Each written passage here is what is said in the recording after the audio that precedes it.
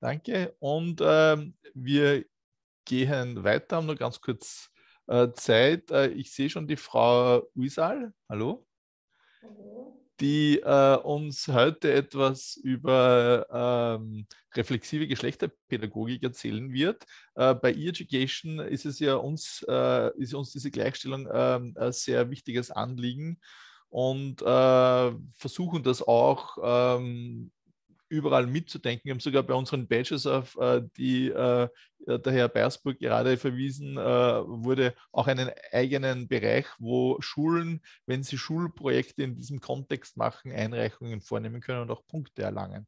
Also es ist mitgedacht, es wird nicht in dem Ausmaß in Anspruch genommen, wie wir uns das erhoffen. Wir sehen ja die Aktivitäten, die eingereicht werden, aber somit könnte man auch sagen, ist noch äh, Luft nach oben. Und äh, in dieser Hinsicht äh, freuen wir uns jetzt schon auf äh, Ihren Input. Bitte sehr. Vielen Dank. Ja, von mir auch ein herzliches Willkommen. Ich freue mich, dass ich heute hier unsere Ediothek zum Thema reflexive Geschlechterpädagogik und Gleichstellung vorstellen darf. Nochmal kurz zu mir. Mein Name ist Jasmin Ösel und ich komme aus der PRES 1, Abteilung für Gleichstellung und Diversität im Bundesministerium für Bildung, Wissenschaft und Forschung und ja, ähm, bevor ich allerdings mit der Ediothek und unseren Materialien in der Ediothek äh, anfange, möchte ich ein paar grundsätzliche Dinge noch sagen. Also die Ediothek, ich weiß nicht, ob die alle von Ihnen kennen. Ich hoffe, die meisten kennen sie. Es ist eben eine soziale Plattform, wo, also eine Online, eine Online-Plattform, Entschuldigung, wo eben ähm, Online-Materialien gesammelt werden nach Themenbereichen etc für eben die Unterrichtsgestaltung. Und ähm, wir haben jetzt eben seit kurzem auch eine, eine äh, eigene Mappe zum Thema eben Geschlechterpädagogik und Gleichstellung. Wie es dazu gekommen ist, möchte ich nun kurz äh, zusammenfassend sagen. Also unsere Mappen und die Unterrichtsmaterialien basieren auf dem sogenannten Grundsatzerlass mit dem Titel eben Reflexive Geschlechterpädagogik und Gleichstellung, der eben im Jahr 2018 als Rundschreiben durch den damaligen Bundesminister Heinz Fassmann verlautbart wurde. Und ähm, ja, dieser Grundsatzerlass äh, gilt für alle Schulstufen und Schularten. Ich weiß nicht, ob Sie schon mit ihm in Berührung gekommen sind. Er bietet auf jeden Fall einen Orientierungsrahmen mit einer Vielzahl an Anregungen, wie eben die Fragen der äh, Gleichstellung sowohl auf der Unterrichtsebene, aber eben auch auf der Ebene der gesamten Schulkultur berücksichtigt und behandelt werden können. Der Grundsatzerlass ähm, erläutert außerdem, also im Grundsatzerlass werden auch jene Kompetenzen erläutert, welche die Lernenden im äh, Zuge der Umsetzung des Erlasses an den Schulen aufbauen sollten. Ähm, ja, ebenso auf die Frage, welche Herausforderungen teilweise auf Schulleitungen und Lehrende bei der Umsetzung des Grundsatzerlasses warten können und wie eben diese am besten bewältigt werden können. Auch hierfür liefert der Erlass äh, einige Antworten. Äh, zusätzlich zum Grundsatzerlass äh, haben wir vor kurzem auch einen Film über den Grundsatzerlass gedreht, wo wir sozusagen den Grundsatzerlass, Entschuldigung, wo wir den Grundsatzerlass äh, auch äh, erläutern und sozusagen anhand von äh, Beispielen, Unterrichtsbeispielen sozusagen hier auch greifbarer machen wollen. Ähm, ja, äh, kommen wir nun äh, zum Thema Geschlechterpädagogik und Gleichstellung. Äh, warum überhaupt Geschlechterpädagogik und Gleichstellung? Die Gleichstellung der Geschlechter ist als universelles Menschenrecht in mehreren internationalen Übereinkommen eben verankert. Der Bildung kommt dabei eine wesentliche Rolle, wenn nicht sogar eine zentrale Rolle zu. Im Schulbereich schafft eben eine reflexive Geschlechterpädagogik unter dem Aspekt der Geschlechtergleichstellung geeignete Lernräume, in denen sich alle Schülerinnen und Schüler unter professioneller Begleitung mit Geschlechterthemen unter verschiedenen Blickwinkeln auseinandersetzen können. Derartige Lernprozesse erzeugen eben Wissen und Bewusstsein für Bedienungsfaktoren von Geschlechterungleichheiten und deren Veränderbarkeit, wodurch auch die Bereitschaft gestärkt werden kann, sich im Alltag für mehr Gleichstellung einzusetzen. Durch die Auseinandersetzung können Geschlechterstereotype Zuschreibungen erkannt werden, eigene Grenzen gesetzt werden und Wege der Selbstbestimmung gefunden werden. Dies bildet auch eine wichtige Grundlage für die Prävention gegen sogenannte geschlechterbezogene Gewaltformen und für die Erweiterung des Lebens und ähm, also der Lebens- und Berufsperspektiven junger Menschen allgemein. Und eben genau das wollen wir auch mit äh, unserer Mappe in der Ediothek ähm, fördern. Wir wollen eben auch einen Teil dazu beitragen, äh, hier oder ja, Hilfestellungen zu geben, wie kann man dieses Thema in den Unterricht äh, mit einbinden. Ähm, und hierfür haben wir insgesamt sechs Themenmappen für jeweils drei Schulstufen ähm, angelegt, eben für die äh, Stufen Primarstufe, Sekundarstufe 1 und Sekundarstufe 2. Insgesamt, also Stand jetzt sozusagen, sind 177 Materialien zu finden, aber ich möchte gleich mal dazu sagen, die Materialien sollen noch wachsen. Also wir sind immer wieder äh, laufend auf der Suche nach neuen Materialien, die dann äh, regelmäßig auch äh, quasi aktualisiert werden und neu hinzugefügt werden. Schauen wir uns mal an, wie sieht es denn aus in der Primarstufenmappe. Hier haben wir also für die Volksschule insgesamt 13 Materialien bis jetzt ähm, drinnen und zwar zu folgenden äh, Themenbereichen. Diese Themenbereiche, ich sage es gleich, sind für alle drei Schulstufen äh, gleich. Also alle diese Themenbereiche werden in allen Schulstufen äh, behandelt. Äh, und da haben wir die Antidiskriminierung bzw. Diversität drinnen, die Gesundheit und Sexualpädagogik, das Thema Gewalt und Sexismus, Historisches, also Frauenbewegungen und Pionierinnen, dann äh, IKT, die digitale Grundbildung sowie Rollenklischees und Geschlechterstereotype.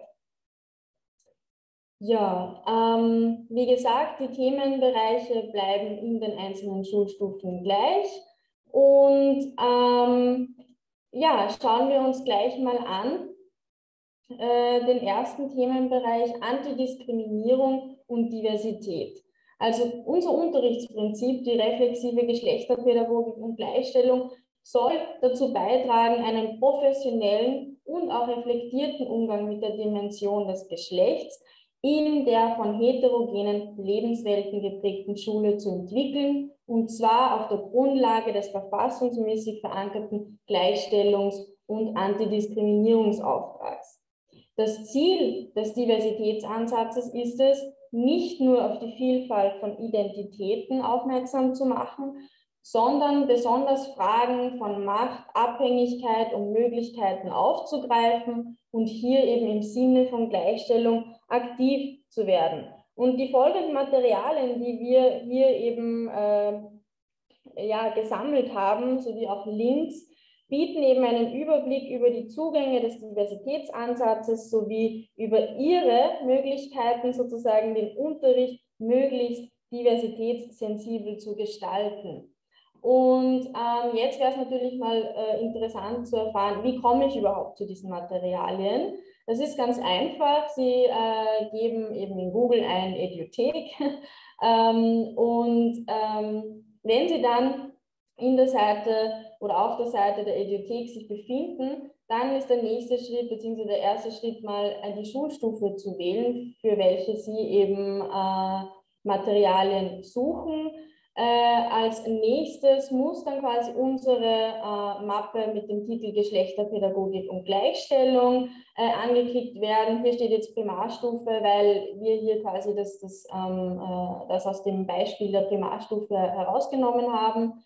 Ähm, ja, der nächste Schritt ist dann äh, eben, Sie schauen durch bzw. suchen jenen Themenbereich, für den Sie sich quasi interessieren und den Sie im äh, Unterricht sozusagen behandeln wollen. In unserem Fall, wir haben hier das Beispiel Antidiskriminierung und Diversität genommen. Dann wird eben dieser Themenbereich angeklickt ähm, dann, äh, wenn Sie das gemacht haben, öffnet sich sozusagen die Sammlung der Materialien, die Sie dann äh, ganz bequem durchschauen können.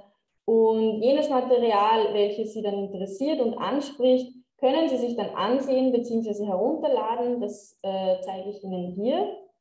Es geht ganz einfach und schon, also wenn Sie auf Ansehen klicken, kommen Sie schon auf das Unterrichtsbeispiel, wo Sie dann eben auch Aufbereitungsinformationen und Beispiele und ähm, ja, äh, ja, finden können und gleich sozusagen starten können. Ähm, ja, äh, das war's äh, mit der Antidiskriminierung. Kommen wir nun zum zweiten Themenbereich äh, Gesundheit und Sexualpädagogik.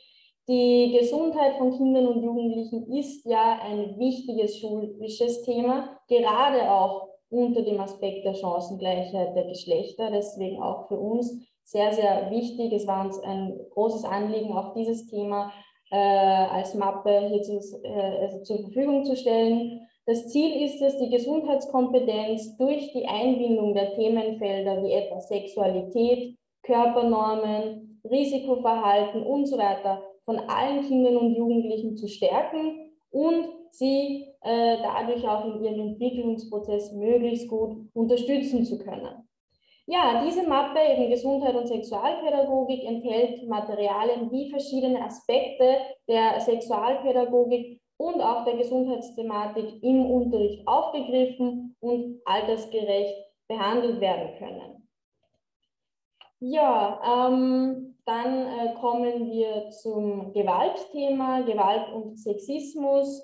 Ähm, Ziel ist es eben, den Lebensraum Schule für alle Kinder und Jugendlichen so zu gestalten, dass sich alle sicher fühlen. Es soll ein Klima der Toleranz und Wertschätzung vorherrschen, in dem diese zu selbstständigen, verantwortungsvollen Menschen heranwachsen können.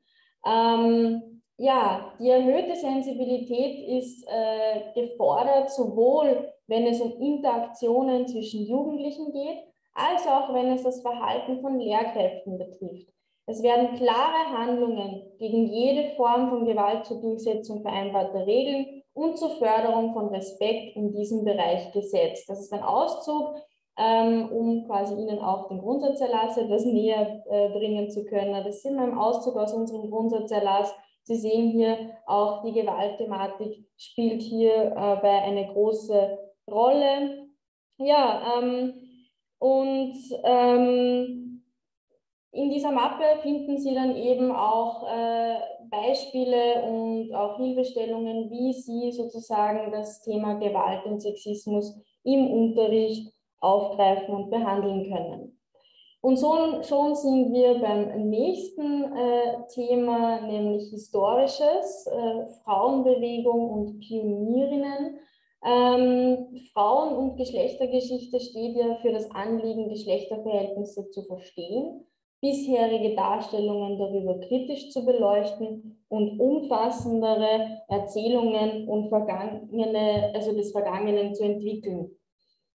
Einiges wurde ja im Laufe der Zeit bis heute ähm, sowohl auf rechtlicher Ebene als auch im Bereich Bildung und Erwerbsbeteiligung schon erreicht, allerdings natürlich noch nicht genug, ähm, denn eine umfassende Gleichstellung der Geschlechter ist noch immer nicht erreicht. Man äh, braucht nur an die Lohnschere, den sogenannten Gender Pay Gap eben zwischen den Geschlechtern denken. Und ja, auch hier in dieser Mappe Historisches sind eben viele äh, Texte und äh, Materialien enthalten, ähm, um hier dieses Thema auch greifbar zu machen im Unterricht.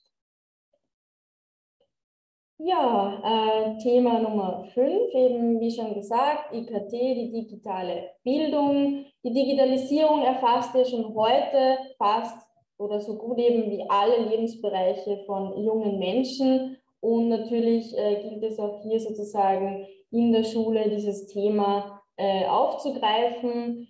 Äh, Mädchen und Buben scheinen äh, teilweise ganz unterschiedlich in diese äh, digitale Welt einzutauchen. Wo sind Schnittstellen und wie kann das aber auch gut im koedukativen Unterricht eingesetzt werden? Also diese Fragen haben wir uns gestellt und demnach quasi uns auf die Suche nach äh, guten Materialien äh, gemacht und auch einiges gefunden, was nun eben in der Bibliothek bereit steht. Äh, es gibt auch vom äh, Bundesministerium für Bildung, Wissenschaft und Forschung einen Folder zur digitalen Bildung mit dem Titel Digitale Bildung für alle mit dem Fokus eben Chancen und Geschlechtergerechtigkeit. Diesen Folder finden Sie natürlich auch auf der BMWWF Homepage.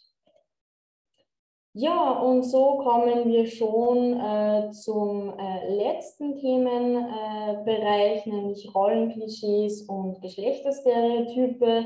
Ähm, Geschlechterverhältnisse und Fragen der Gleichstellung reichen ja auf vielfältige Weise in die Schule hinein und äh, bilden sich in ihr ab, etwa wenn man bedenkt auf Ebene der unterschiedlichen Repräsentanz der Geschlechter im Lehrberuf oder unterschiedlichen, der unterschiedlichen Verteilung der Schülerinnen und Schüler in den jeweiligen Schulformen. Aber insbesondere das alltägliche Miteinander ist vom sozialen Geschlecht, von Gender im Sinne der Definition der WHO äh, in hohem Maße geprägt.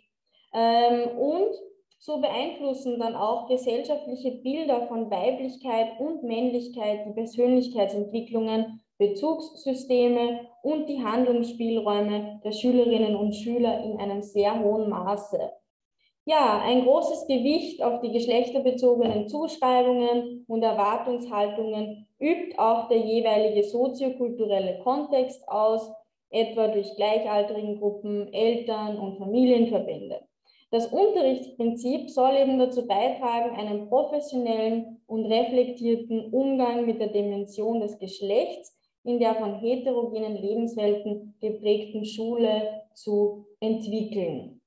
Ja, und eben genau hierfür haben wir auch geeignetes Material äh, gesucht und gefunden und ähm, eben für Sie auf äh, der Ediothek eben äh, bereitgestellt. Wie kommen Sie nun zur Ediothek? Äh, ganz einfach, hier ist der Link eben auf ediothek.at gehen und dann eben schrittweise, so wie ich das vorhin schon gezeigt habe, ähm, ja, auf die Themenbereiche klicken und sich das passende Material heraussuchen, äh, herunterladen und äh, für den Unterricht eben vorbereiten. Ja, zusätzlich haben wir hier auch vorbereitet den Link äh, zum Grundsatzerlass reflexive Geschlechterpädagogik und Gleichstellung für all diejenigen, die reinschauen wollen und ähm, Interesse haben, was ist denn jetzt eigentlich äh, dieser Grundsatzerlass und ähm, ja, äh, warum diese Themen in der Idiothek. Ja, und zusätzlich äh, auch noch ähm, einen Link zu den Praxismaterialien für den Unterricht auf unserer BMBWF äh, Homepage. Und ja, ähm, so viel zu den, äh, also wie Sie äh, diese, diese Mappen und so äh, sehen und herunterladen können. Äh, wie gesagt, im Moment haben wir 177 Materialien gesammelt, aber der Bestand soll wachsen und deswegen sollte jemand von Ihnen äh, hier gerade zuhören und sich denken, hey, ich habe auch ganz tolle Materialien, die zu diesen Themen passen würden, äh, würden wir uns sehr freuen, wenn Sie uns die zukommen lassen könnten. Sie sehen äh, diejenigen Personen, die eben äh, für die Edithek zuständig sind und deren E-Mail-Adressen, darunter auch meine. Also wir freuen uns sehr, wenn äh, Sie auch da äh, mithelfen würden und uns hier auf den ja, äh, neuesten Stand bringen, neue Materialien äh, zukommen lassen. Ähm, ja, und damit sozusagen alle etwas davon haben. Ja, ähm, das war es eigentlich schon äh, zur Ediothek und von meiner Seite. Für Fragen stehe ich natürlich gerne bereit. Ansonsten ja, bedanke ich mich schon mal für die Aufmerksamkeit und die Möglichkeit, hier das ein bisschen vorzustellen. Und ja, Dankeschön. Ja, vielen herzlichen Dank, Frau Wiesal. Äh, es freut mich auch, dass äh, die Claudia Stöckelmeier in ihrer Präsentation äh, als Kontakt erwähnt wird, denn die ist ja Teil von unserem Kernteam, also auch ja, als Signal. Ja, die war wirklich auch sehr, sehr, sehr daran beteiligt, ja. ähm, dass das überhaupt sozusagen ähm, auf die Beine gestellt wurde. Ja. Also großen Dank auch an die Frau Stöckelmeier. Ja, sehr gut, sehr gut. Äh, was ich jetzt für eine Frage äh, habe, die sich aus dem ergibt, äh, im Rahmen der Edothek, Sie gesagt, Sie haben diese Mappe. Äh, mhm. sind da diese Materialien äh, auch so didaktisch bereits so aufbereitet, dass das Lehrkräfte gleich direkt im Unterricht auch anwenden können? Teils, teils. Also es gibt auch also sehr viele ähm, äh, Unterrichtsmaterialien, die wirklich auch schon aufbereitet sind mit einer äh, genauen Beschreibung, was wie in der Stunde sozusagen behandelt wird, wie viele Minuten sozusagen für welchen Bereich dieser Aufgabe verwendet werden soll. Also es gibt wirklich einige sehr, sehr gute Sachen, die direkt heruntergeladen und eingesetzt werden können. Ich kann zum Beispiel hier auch die ähm, äh, Materialien äh, vom Demokratiezentrum zum Beispiel sehr empfehlen. Die sind eben genauso aufbereitet mit einem genauen Stundenbild etc. Ähm, ja, also da ist dann nicht mehr viel Arbeit notwendig, sondern ja, ich lade mir das herunter, überlege mir, in welcher Stunde äh, möchte ich diese, diese, dieses Unterrichtsbeispiel sozusagen anwenden und kann das direkt dann eben machen, weil das schon sehr gut so aufbereitet ist. Ja, Frau Wiesel, vielen herzlichen Dank. Äh, Im äh, Chat äh, sehe ich jetzt keine äh, weiteren Fragen.